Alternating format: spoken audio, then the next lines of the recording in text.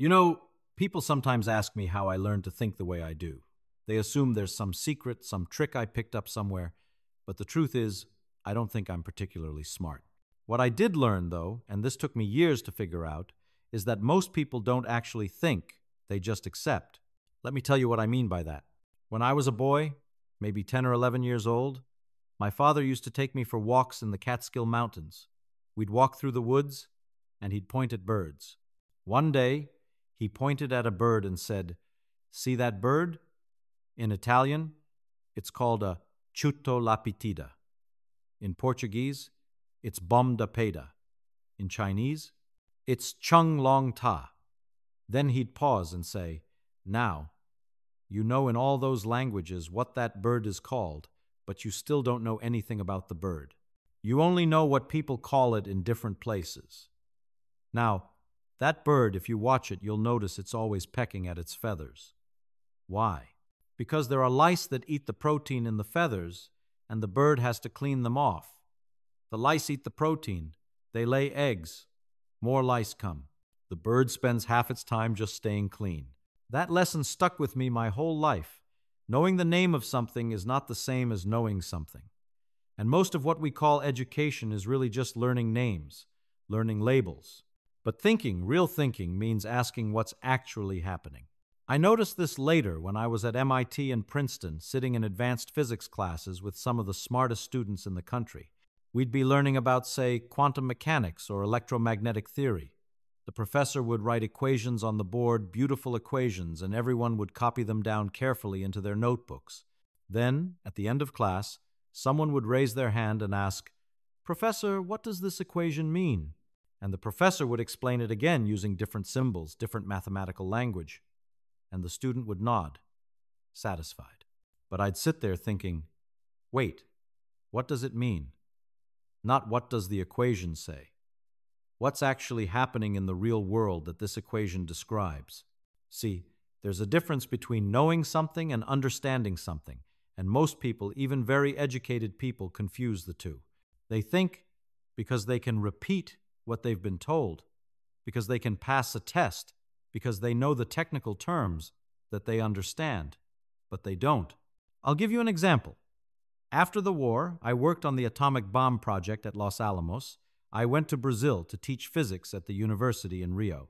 Wonderful place, beautiful students, very serious about their education. But I noticed something strange. These students could recite entire textbooks. They'd memorized everything. But when I'd ask them a simple question like, What happens if I shine light through a Polaroid filter at a certain angle? They couldn't answer. They'd never thought about it. They only knew what the book said would happen, not why it happened or what it meant. I started asking them questions differently. I'd say, Forget the textbook. You're walking on the beach, and the sun is reflecting off the water. Why is that reflection brighter from certain angles? They couldn't answer. They didn't have the habit of thinking about the world around them. They had the habit of memorizing what they were told. That's when I realized something important. Thinking isn't a talent you're born with. It's a habit you build, and most people never build that habit because nobody teaches them how. So, how do you build it? How do you train your brain to actually think instead of just accept?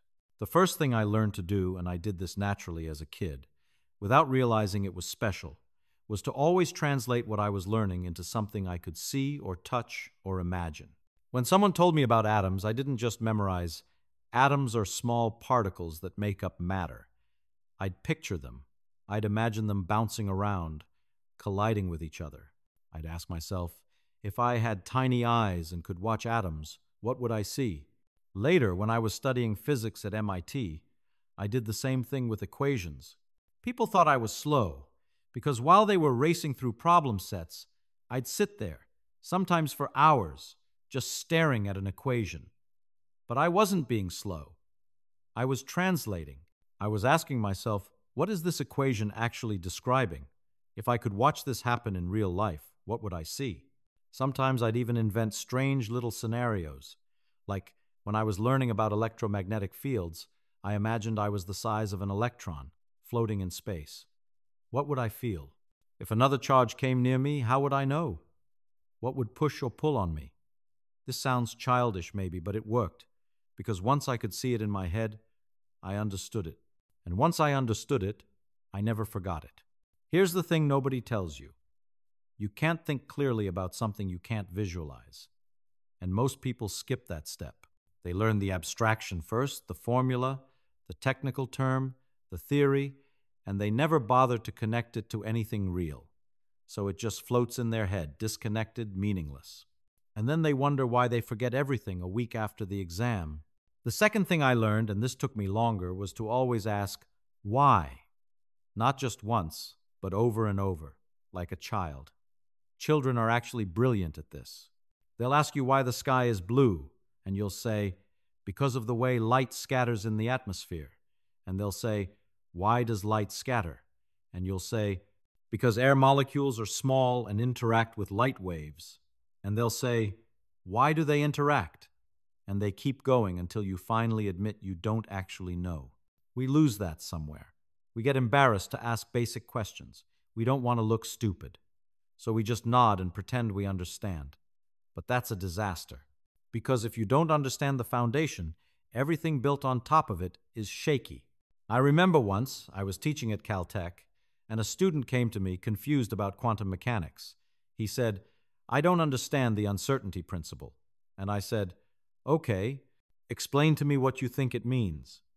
And he started reciting the textbook definition, something about position and momentum and Planck's constant. And I stopped him and said, No, no, don't tell me what the book says. Tell me what you think is happening. And he couldn't. He literally couldn't tell me because he'd never thought about it, he just memorized it. So we sat down, and I said, Let's start simple. Forget quantum mechanics for a second. If you wanted to measure where something is like a ball, what would you have to do? And he said, Look at it. And I said, Right. And how do you look at something? And we went through it. Light bounces off the ball, enters your eye. You see where it is. And I said, Now, what if the ball is really, really small, so small that the light you use to look at it actually pushes it when it bounces off? And you could see his face change. He got it. Not because I gave him a better definition, but because he finally thought about what was actually happening. This is the secret, if there is one. Don't accept anything until you can explain it to yourself in your own words, using your own pictures, your own analogies. If you can't do that, you don't understand it yet and that's okay, but don't pretend you do. The third thing, and this is maybe the most important, is that I learned not to be afraid of not knowing. This sounds simple, but it's not. Most people are terrified of admitting they don't understand something. They think it makes them look dumb, so they fake it. They nod along. They use the right words even though they don't really know what those words mean. But here's what I figured out the smartest thing you can do is admit when you don't know something. Because once you admit it, you can start actually learning it. But if you pretend you already know it, you're stuck. You stop asking questions. You stop thinking.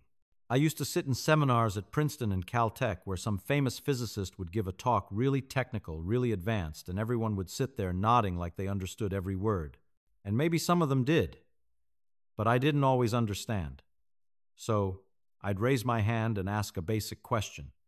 And sometimes people would look at me like I was simple. But you know what?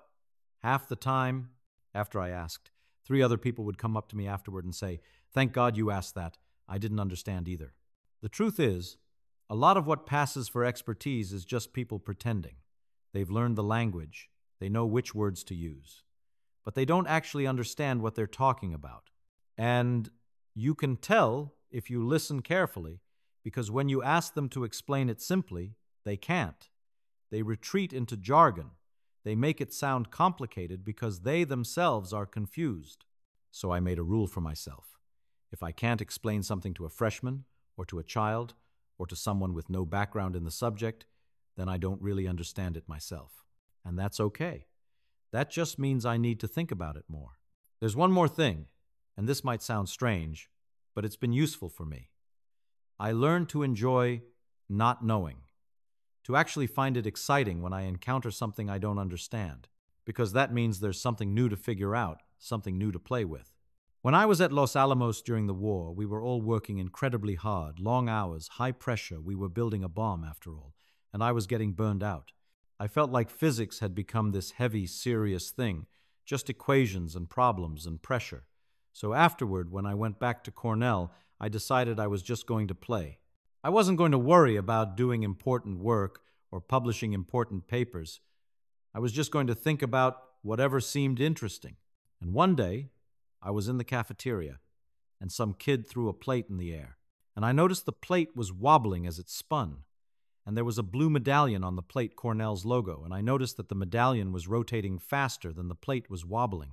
And I thought, huh, I wonder why. So I went back to my office, and just for fun, I worked out the equations. Why does the plate wobble that way? What's the relationship between the wobble and the spin? And it turned out to be connected to some deep principles of rotation and angular momentum. And that little problem, that silly thing I did just because it seemed fun, eventually led to work that contributed to my Nobel Prize years later. But I didn't know that at the time. I wasn't trying to do important work. I was just playing. I was just curious. And I think that's maybe the real secret, if I'm being honest. You don't force your brain to think like a genius. You just let yourself be curious like a child. You ask questions. You try to see what's really happening instead of just accepting what you're told. You admit when you don't understand something, and you keep thinking about it until you do. Most people stop themselves before they even start. They think, oh, that's too complicated for me, or I'm not smart enough to understand that, or I'll just trust the experts. But understanding isn't about being smart. It's about being persistent. It's about caring enough to actually think about something instead of just accepting it. I've spent my whole life around the smartest people in the world Nobel Prize winners, brilliant mathematicians, incredible physicists. And you know what? Some of them were genuinely brilliant. But most of them were just people who never stopped asking questions, who never accepted something just because everyone else did who kept thinking about problems even when everyone else had moved on. You can do that. Anyone can do that. You don't need to be special. You just need to care enough to try. So next time someone tells you something, anything, doesn't matter what, don't just accept it. Ask yourself, what does that actually mean? Can I picture it? Can I explain it to someone else in my own words? If not, then I don't really understand it yet. And that's okay. That's just where the thinking begins.